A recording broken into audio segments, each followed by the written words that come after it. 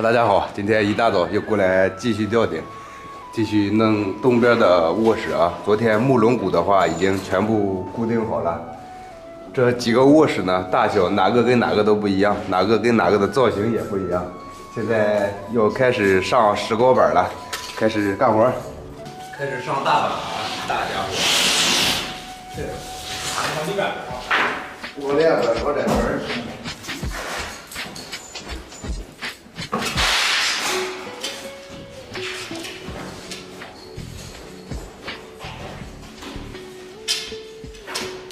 刷一下乳胶，每个细节都做到位啊，确保以后万无一失。